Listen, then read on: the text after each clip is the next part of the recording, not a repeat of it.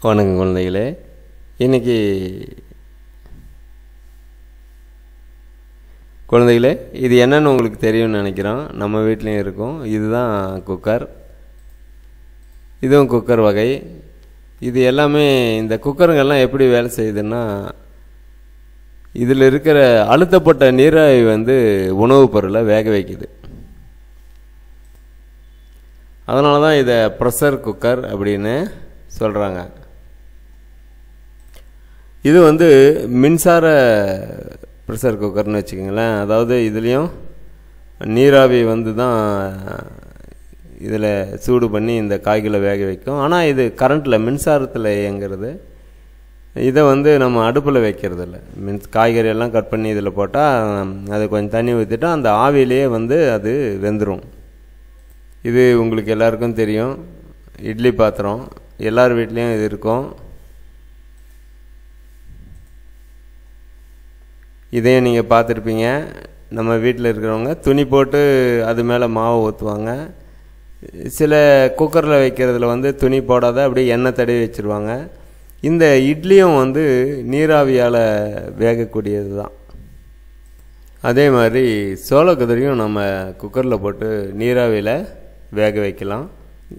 இது உங்களுக்கு ரொம்ப பிடித்தமான உணவு. இதுவும் அந்த இட்லி பாத்திரத்து தான் வந்து நம்மளுக்கு இட்லியாக கிடைக்குது.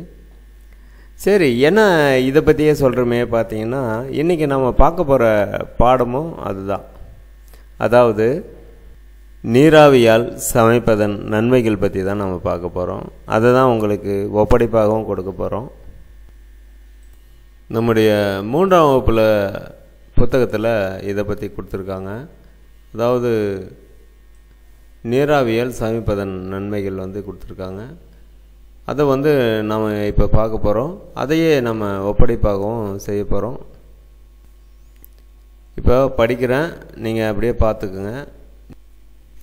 நீராவியால் சமைப்பதின் நன்மைகள். இது சமைப்பதற்கு மிக எளிமையான முறை. அதாவது இதை ரொம்ப ஈஸியாக சமைக்கலாம். எதுவும் ரொம்ப கஷ்டப்பட தேவையில்ல. தண்ணி ஊற்றி வச்சுட்டு குக்கர் மேலே வெயிட்டர் போட்டால் அது வெந்துடும் நீராவியில் நீராவியால் சமைத்த உணவு எளிமையாக செரிமானமாகக்கூடியது. அதாவது நீராவியில் வேக வைத்த அனைத்து உணவுப் பொருட்களும் வந்து நம்ம வயிறு வந்து எளிதில் ஜீர்ணித்திக்கும் குடல். அது இந்த ஜீரண பிரச்சனைலாம் வராது. அடுத்தது நீராவியால் சமைத்த உணவானது வைட்டமின் சி மற்றும் e ஈயை தக்க வைக்கிறது. அதாவது நீராவியால் நம்ம வேக வைக்கிறப்போ அதில் இருக்கிற சத்து பொருட்கள் வந்து வீணாகிறதில்ல.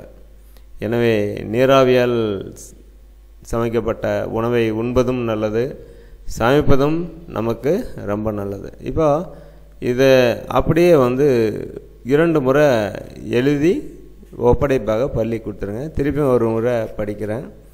நீராவியால் சமைப்பதன் நன்மைகள். இது சமைப்பதற்கான மிக எளிமையான முறை. நீராவியால் சமைத்த உணவு எளிமையாக செரிமானமடையக்கூடியது நீராவியால் சமைத்த உணவானது வைட்டமின் சி மற்றும் e ஈயை தக்க வைக்கிறது. திருப்பியும் படிக்கலாம். நீராவியால் சமைப்பதன் நன்மைகள். இது சமைப்பதற்கான எளி மிக எளிமையான முறை. நீராவியால் சமைத்த உணவு எளிமையாக செரிமானமடையக்கூடியது நீராவியால் சமைத்த உணவானது வைட்டமின் சி மற்றும் e ஈயை தக்க வைக்கிறது. இது என்ன பண்ணுங்கன்னா ரெண்டு முறை எழுதி பள்ளிக்கு கொடுத்து அனுப்பலாம் நீங்கள்